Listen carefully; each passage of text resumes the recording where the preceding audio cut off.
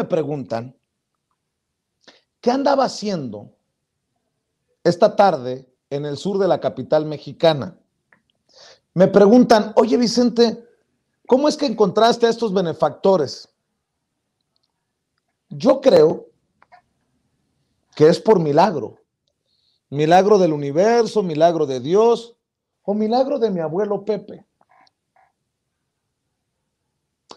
Fíjense que les comparto algo muy personal, algo muy íntimo. Antes de morir, mi abuelito Pepe, le hablé para despedirme y le dije, abuelito, dicen los que saben que hay que buscar la luz cuando te quieres despojar del cuerpo tan enfadoso, que tiene frío, que duele. Y como él sufría por el cáncer, me dicen mis tíos, mi madre, mi abuela, que en paz descanse también, que cuando se despidió dijo, ahí está la luz. Antes de despedirme de mi abuelo, Superman, le dije, por lo mucho que aguantó. Le dije, búscame en la otra vida, porque si hay otra vida, aseguran los que saben que las vidas que se aman, las almas que se aman, se pueden volver a encontrar. Hoy me fui al sur de la Ciudad de México y por eso llegué tarde a la transmisión. Y lo comparto antes de ir a la mesa de diálogo. Espero que, que no lo tomen a mal los amigos y amigas y que perdonen el atrevimiento, este lujo que me estoy tomando para compartir algo tan personal. Me fui al, al, sur de la Ciudad de México porque hoy cumple 11 años de haberse separado del cuerpo mi abuelo mi abuelito Pepe, don Pepe Arroyo, Chuy, como le decían los amigos. 11 años que pasó a otro plano, que se nos adelantó. Y ustedes a lo mejor no lo sabían, pero todos tenemos de músico, poeta y loco un poco, por lo menos. Todos. No sé si había compartido con ustedes que a mí me gusta escribir poesía. Y si me permiten, quiero compartir con ustedes en este viernes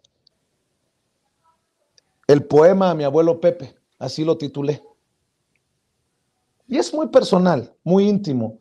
Ojalá que se identifiquen muchos que han perdido a sus abuelos. Tu cuerpo dejó de servir en el momento en el que el monstruo te mordió. El veneno se metió en tus huesos, en tu cabeza, por todos lados. Te fuiste cuando más te necesitaba, cuando más te dolía. Dejaste a mi abuela lastimada en el alma y encerrada en su fe. Tu muerte le quitó también vida a sus días. Estaba ella, pero faltabas tú en la otra silla mecedora. Así las tardes no volvieron a ser a tener sentido, ni volvió a ser interesante adivinar lo que pensaba la gente que pasaba al frente de la casa. Nos dejaste vacíos, vacío sin tu sonrisa inmensa, sin tu mirada tierna, sin tu hablar pausado, sin tu sabio consejo, sin el frijol en agua y sal, sin las tortillas de harina, sin tu salsa bandera, sin la baraja, sin el dominó, sin tus abrazos eternos. Te lloramos todos, tus hijas, tus hijos, tus nietos, tus nietas, tu compadre y los vecinos, hasta la perra. Esa canela te acompañó sin que la vieras hasta tu último suspiro. Nunca te lo he dicho cuando platicamos escondidas para que mi madre no piense que he enloquecido, pero a veces me da coraje contigo. Quedaron muchos planes por cumplir, viajes por realizar, preguntas por responder. No me enseñaste tus trucos en el billar, no me revelaste tus recetas de cocina secretas. Nunca pude preguntarte si estabas orgulloso de mis logros. No fuimos juntos a tu Michoacán. Pronto veré a Vicentito. Me hubiera encantado que te conociera, que lo hubieras cargado en tus brazos como me cargaste tantas veces a mí. Cumplirá ocho años y de regalo le platicaré de ti.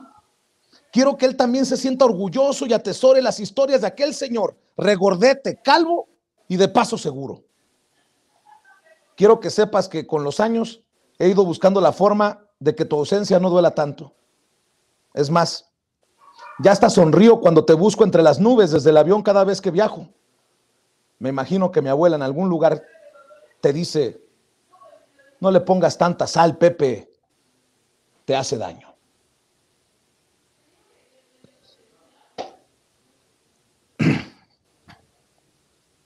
Ya ve que de músico, poeta y loco, todos tenemos un poco. ¡Wow! Me encantó, Vicente. Me encantó. Eh, qué bonito homenaje. Qué bonito homenaje, de verdad. De verdad, ahora sí que te la sacaste, querido Vicente. Me encantó, de verdad. Cálmate, pues, cálmate, Jaime Dresser.